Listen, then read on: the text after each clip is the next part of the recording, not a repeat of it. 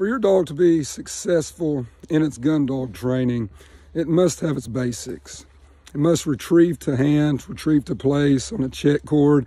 Some do it naturally. And then it must be compliant on here, heel, sit, place, on a check cord, on a leash.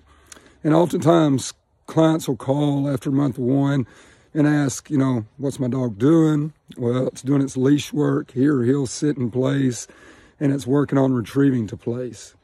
They'll call two weeks later, same question, same answer. And it's understandable they want to get to the fun stuff. They want to get to the gun work. They want to get to the bird work.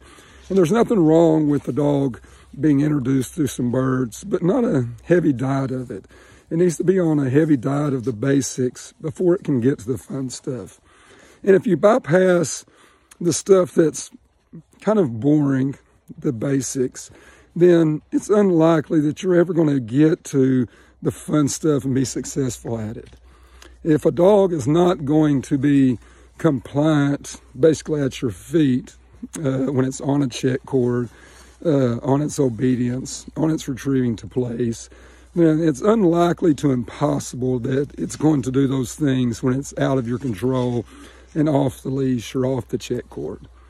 So be sure when you're going through your training that you that you get through the basics. You make sure it's proficient in its here, heel, sit in place, in its obedience side, and then it's retrieving to hand, retrieving to place on the retrieving side.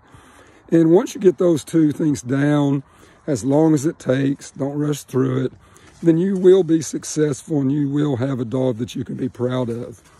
But I can just about guarantee you that if you skip those things, try to rush through those things, and really not get them to the level they should be, a, really a standard, then you're never going to be successful in the, the funner parts of training.